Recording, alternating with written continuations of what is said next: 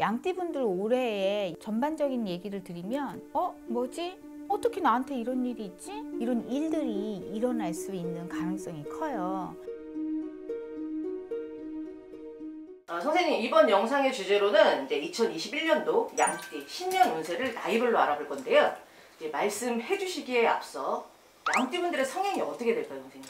이거는 포괄적인 말씀을 드리는 거라 어 나는 안 그런데 이런 말씀 하시면 곤란합니다. 양띠분들은 대체로 보면은 우리가 양띠 그러면 온순한 줄 알잖아요. 그렇지만 가슴 속에 이 마음 속에 내재되어 있는 에너지는요 굉장히 열두 띠 중에서 아주 중심을 잡을 정도로 굉장히 열정인적인 그런 분들이세요. 그리고 대인 관계에 있어서도 좀 시샘도 있고 그걸 보면은 그걸 또 차지하려고 그걸 해결해 내려고 막 열정 열정적으로 노력하시는 면모도 있는 분들이고요. 그리고 생각이 겉으로 확 드러나지지 않는 분들도 있어요. 속으로 생각하고 또 계획하고 결정 짓고 좀 신중하다고 할 수가 있죠. 예, 사람들이 도대체 그러냐고 안 그러냐고 이렇게 답답하게 생각할 수가 있어요. 근데 주변에 양떼분들이 계시다면 지금 무언가를 신중하게 생각하고 있는 거니까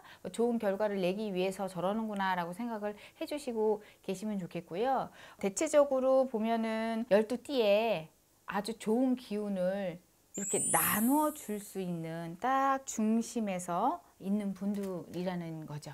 그러면 지금부터 이제 나이별로 말씀 들어볼게요. 네. 양띠분들 올해의 이 신, 그 신축년에 전반적인 얘기를 드리면, 어? 뭐지? 어떻게 나한테 이런 일이 있지? 이런 황당하고 말도 안 되고 때로는 억울하고 이런 일들이 일어날 수 있는 가능성이 커요. 그러니까 매사를 좀 조심스럽게 진행을 하시면 좋겠다라는 말씀을 드리고 싶고요. 55년 을미생 67살 분들 앉은 자리에 변화, 변동이 있다.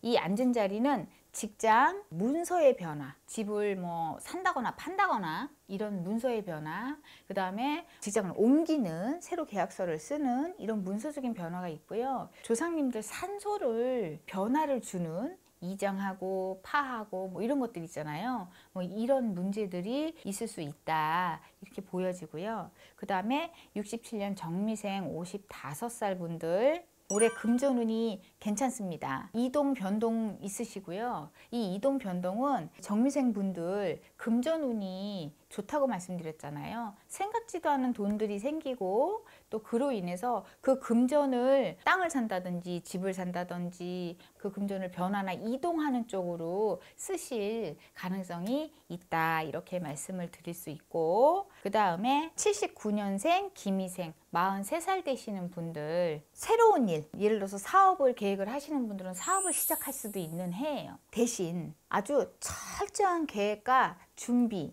시장 조사 이런 것들을 잘만 하신다면 코로나 때문에 힘들다 어떠다 해도 이분들은 되십니다. 대신 그 앞전에 준비를 잘 하셔야겠죠. 시장조사 반드시 하시고 내가 어, 기술을 익혀야 되는 거면 기술을 익히시고 철저하게 준비를 하신다면 분명히 좋은 성과가 있을 수 있다라는 거 말씀드리고 싶고요.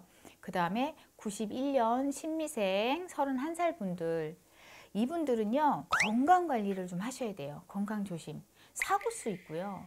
그 다음에 질병이 생길 수 있는 해예요. 그래서 생각지도 않은 데서 부딪혀서 다친다거나 요새는 이렇게 또 면역 질환들이 많이 발생하고 있잖아요. 그럼 면역 관련 질환, 건강 검진 같은 것도 좀 잘 받아보시고 이렇게 철저하게 내 몸 관리를 해야 되는 해이고요. 대신 반면에 사람의 덕이 있어요. 인덕이 따라줘서 이 인덕은 직장이나 또 내가 알고 있는 지인 이런 분들 친구도 될 수 있고 가족도 될 수 있거든요. 이분들이 나를 돕는 거예요. 취직도 될 수 있고 장사도 잘 될 수 있고 직위도 오를 수가 있습니다. 31살 신미생분들 올해 사람과의 교류 잘 하셔서 좋은 일들 많이 생겨셨으면 좋겠습니다. 그리고 2003년 개미생 19살 고3 되잖아요. 다 화이팅 하시고 변화 변동수 있어요. 변화 변동이라면 어 19살 고3들이 무슨 변화 변동이야 하겠지만 이분들은 학업을 하는 분들이잖아요. 학원의 이동 또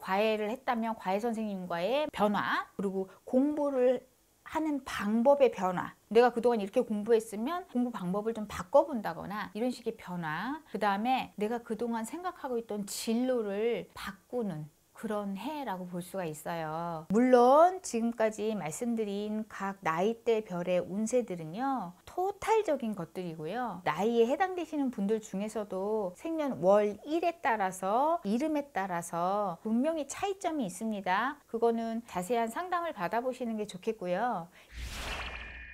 양띠분들 올해 마음의 이 중심을 아주 잘 잡으시고 계획을 잘 세워서 어, 실행만 하신다면 활동 범위도 많이 넓어질 거고 그로 인해서 좋은 결과들이 많이 있으실 겁니다. 화이팅 합니다.